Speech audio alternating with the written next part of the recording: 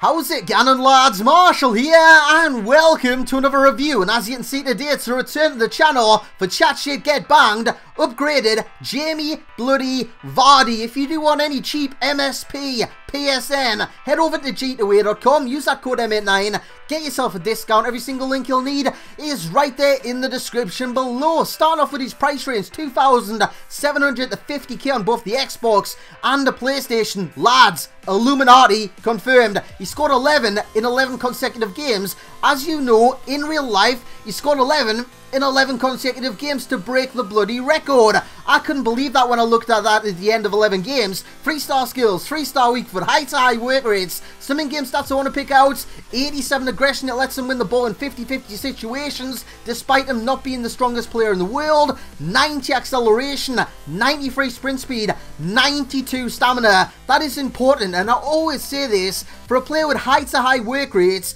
it is important to have good stamina. Jamie Vardy has brilliant stamina, dribble in 75, finish in 79, shot power of 77. This guy can finish his dinner. He's a great goal scorer. Yes, I scored 11 in 11 games, but he could have had more. He did waste a couple of chances, but finishing in general was sensational. Just look at that, on the left foot, into the back of the net. So for me, I didn't find a problem with his weak foot. His weak foot seemed fine. It seemed like a 4-star weak foot. Not quite a 5-star one because I didn't try too many shots on that left foot. But just look at that finish on the half volley into the bottom corner. Cracking strike there from Jamie Bloody Vardy.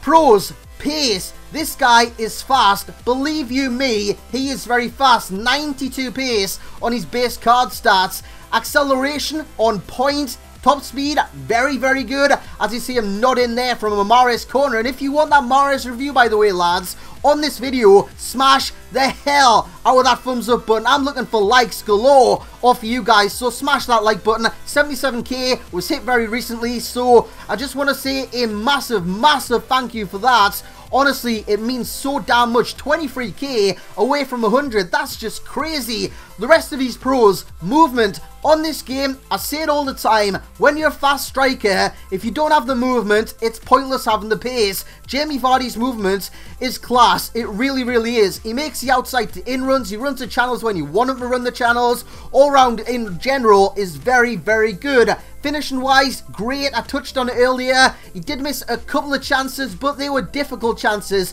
The easy chances and the like the medium chances he put in the back of the net. His finishing is very, very good. And stamina, sen bloody sensational. Now, in terms of cons with this card, curve. I would not finesse the ball with this guy because the ball just doesn't seem to curve and it does your bloody nut in.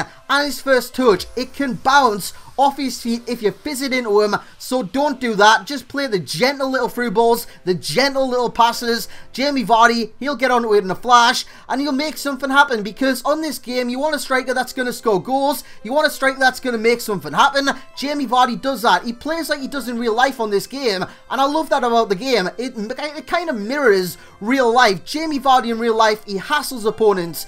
On this game, he's got high to high work rates. He goes all game long. He's got great aggression all in general, he plays very much like he does in real life. So overall, he is going to get a rating of an 8. His record breaker card, slightly better than this one. And a value for coins of a 9.0. If you're looking for a Vardy card, I'd pick this one up. The record breaker still is very expensive. Guys, if you have enjoyed this, smash the hell out of that thumbs up button. Subscribe if you are new around here, lads. And as always, I will catch you all next time.